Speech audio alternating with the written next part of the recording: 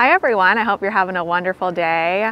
Well, it looks like we're going to get our first frost this evening and so I want to go ahead and harvest as much as I can from the garden today. We have dahlias that need harvested, lots of things that are going to be harvested and we're going to dry together. Gomphrena, celosia, salvia, sedums. Some other fresh cuts need to come out of the garden like lunaria, cosmos. Maybe we can try to grab a few marigolds but this is really going to be the final harvest video for 2022. So let's grab some buckets, some snips, and of course, Sweet Grace, and get right to work.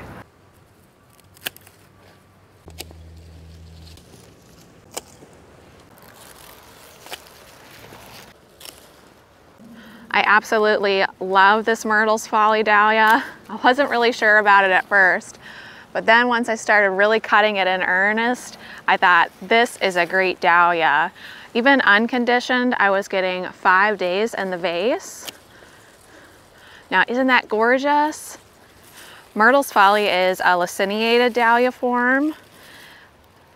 And so it has these really awesome petals that almost look like they're curved or twisted because they're almost kind of cut at the end of the petal.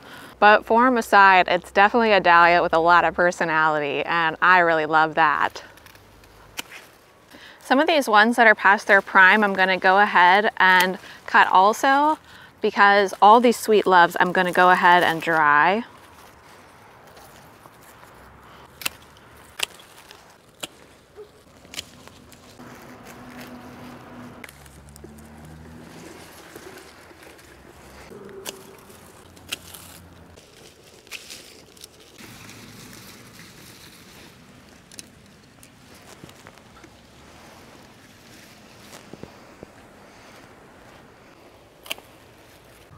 Have you guys grown Lifestyle? Lifestyle is an anemone type of dahlia. Here's a few of them. But for me, I didn't really love the way, hi Grace. Hi. I didn't really love the way the foliage looked on these. The flowers didn't last a long time in the vase. And my main issue was that the stems were really, really skinny. So I'm wondering if that's just an anomaly here or if overall that's how this variety performs. But I don't think I'll dig up this tuber and save it. And I'd love to hear your experience on lifestyle if you've grown it. Although I think Grace is trying to tell me she likes lifestyle.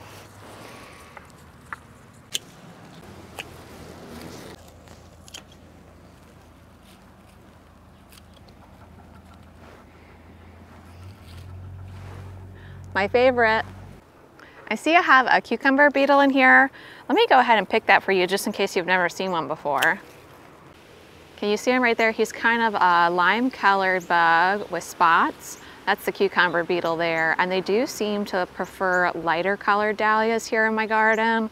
They're attacking the white ones, but not really anything else. And thankfully they didn't really come until late in the season this year, so I didn't have to do any kind of a control for them. But I do the same control for all the dahlias, just bag them with organza bags. But for this one, just swiped them off and we're good to go. Not too much damage that I can see. We can still enjoy it inside. Kind of flimsy heads on this seed dahlia. So I guess since we grew this one from seed together, we can all name it. What do you think? Snowball? It kind of looks like Snowball Sunrise to me with the yellow center. Although I guess that doesn't really make too much sense. Either way, isn't she beautiful? So I'm trying to figure out what to do with the cup and saucer vine. I could go ahead and, oh look, they're full of ants, interesting. I could go ahead and maybe harvest the blooms, but I was kind of hoping to see this vine covered in blooms before the season ends. And with the forecast being 33 tonight with just the possibility of 32, I don't know. I think I might leave it all and see if it makes it through.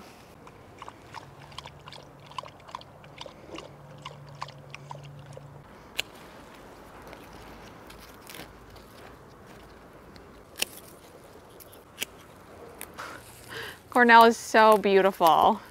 Best red dahlia in my opinion. What do you think friends? Are you a Cornell fan? Now I think these are gonna go to my mom because she really, really likes red and I definitely have plenty of dahlias right now. But I need to show oh, you the sweetest bumblebee ever. I think maybe it's with one of its babies and it has its little arm around its baby.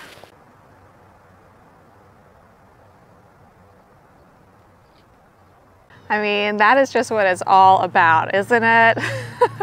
That's the best part of my day. Well, I think this is pretty much it in terms of dahlias. So now let's move on to some gomphrena, celosia, salvia, hydrangeas, and some other foliage I want to arrange with.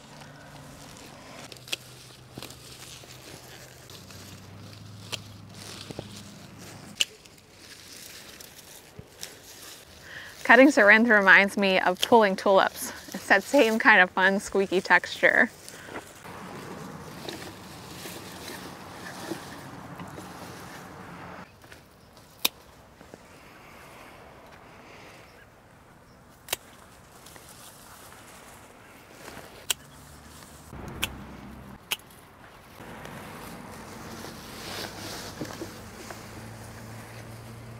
This probably looks like it's staged, but it's not. This is Grace's favorite place to sit when I harvest flowers. Isn't it, Grace? Do you want to go pick some gomphrena with me? We gotta go all the way over there. Come on, let's go. Gomphrena is just like your hydrangea where the pink portion of the flower, whatever color you're growing, is the bract. And then if you look really, really closely at the bracts themselves, you'll see the actual flower, which on this one is white. Sometimes they're yellow, but they're just so fun. And I just love kind of old school heirloom flowers. They just bring me a lot of joy. I don't know what Grace is getting up to. Something. I'm trying to see how many plants I had back here. I think only about 12. It's a lot of gomphrena for just 12 plants. I'm gonna have to throw it out. It's too much to hold.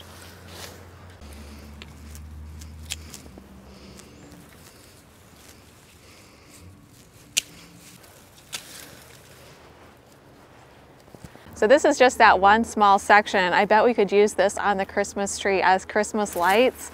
And that's what I'm really hoping to do this year is to do kind of a pink and purple theme tree with gomphrena, the saponaria, lots and lots of dahlias, and then just some other purple and pink touches this year, along with a lot of greens and browns and other really cool textures that I wanna gather. But back to harvesting. I think I pushed this celosia planting a little bit too late because some of these are really not ready at all. So I'll just harvest what looks good and then hope they survive the night and are able to grow for a few weeks longer so we can really get a good harvest. Yeah, this is really not ready.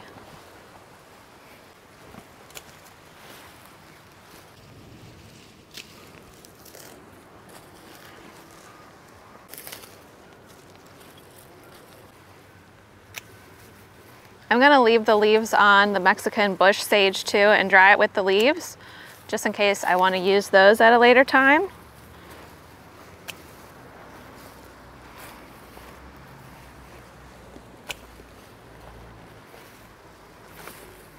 Oh, I wish you could smell this. It smells amazing.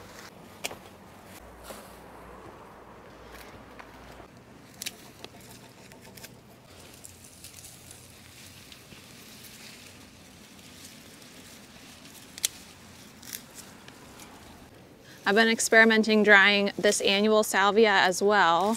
I'm not sure what the variety is. I picked it up for a dollar at a roadside stand. The leaves don't dry well, so I'm gonna go ahead and strip the leaves on this one and just bunch it and hang it to dry. Isn't that a gorgeous color? If you recognize this salvia, would you please let us know what you think it is in the comment section? It is kind of a deep purple, slightly on the blue side. The calyxes are a little bit velvety and it does have, let's see if I, how close I can get here. And here's a close up.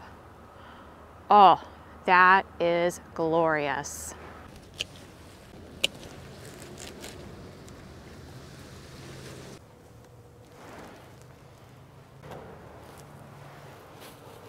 Well friends, today is just gonna be lots more of the same, mainly harvesting lots more of the Gomphrena.